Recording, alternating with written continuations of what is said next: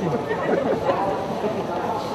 После двух с половиной месяцев разлуки долгожданные объятия с родными. Мама, папа, жена и сын верили, надеялись и мечтали о триумфе единственного паралимпийца из Иркутской области. К успеху на главных стартах Роман шел с детства. Родители не просто одобрили решение сына заниматься бегом, но и постоянно поддерживали его. Эта бронза досталась атлету непросто. Сначала травма на сборах, которая мешала подготовке, потом карантин и вот долгожданная Паралимпиада. Ожидания наставников и семьи Роман Тарасов оправдал. Стометровку Саянец преодолел за 10,88 секунды. Прям очень тряслись, сын там радовался, сидел, как только видел его.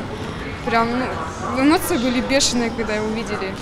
Не видели давно, да, уже тоже месяца два-три, наверное. Переживали очень сильно, нам аж прыгали все.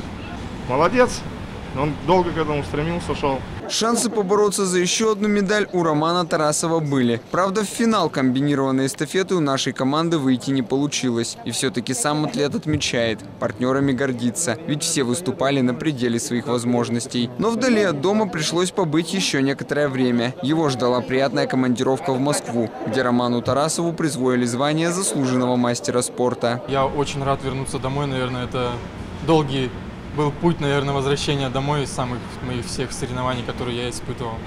Я очень рад был увидеть своих родителей, э, жену, друзей.